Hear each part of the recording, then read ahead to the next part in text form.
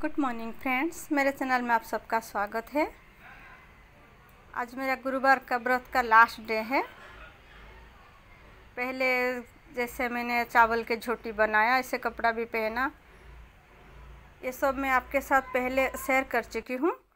आज मैं आपके साथ क्या प्रसाद में क्या बनाती हूँ और आज स्पेशल क्या बनाया है, आपके साथ शेयर करने वाली हूँ।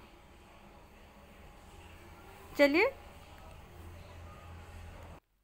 चलते हैं किचन में और प्रसाद बनाते हैं।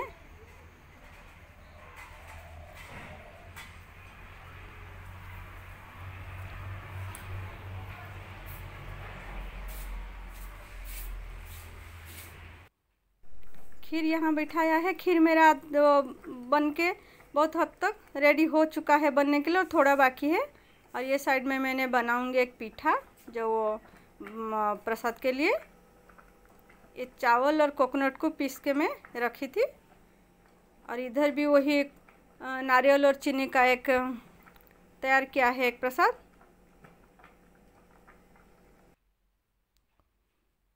खीरी मेरा बन चुकी है।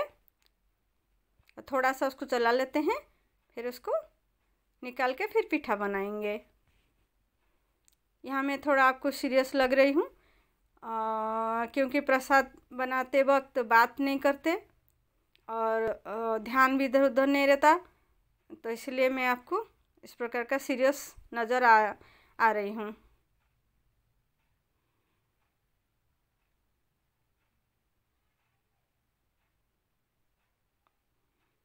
खीर मेरा बन चुका है।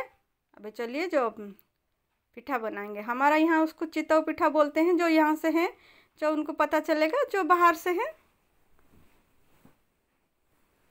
उनको इतना चित्तो पिठा क्या है पता नहीं चलेगा।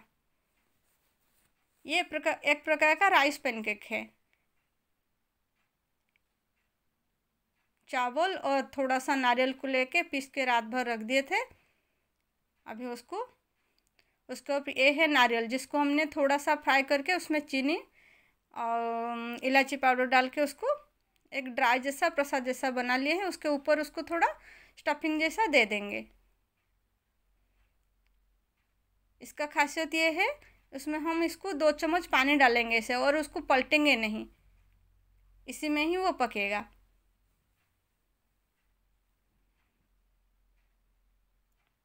पाँच छः मिनट के बाद हम उसको निकाल के देख लेते हैं, ये पक चुकी है हमारा।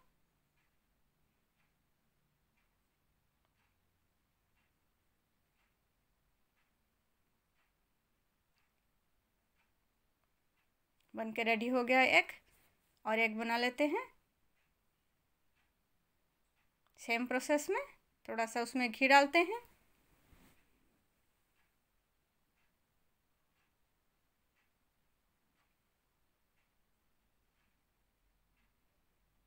सेम प्रोसेस में ऊपर से वो नारियल और चीनी का पाक डालते हैं।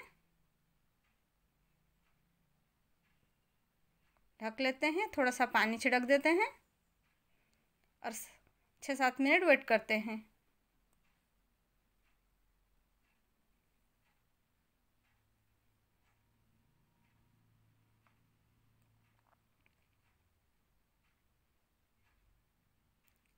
ये भी हमारा बन के रेडी हो गया है।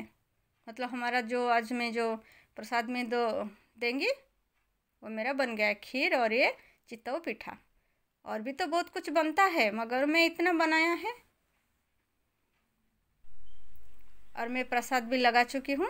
अभी आपके साथ थोड़ा सा वो भी शेयर कर देती हूँ।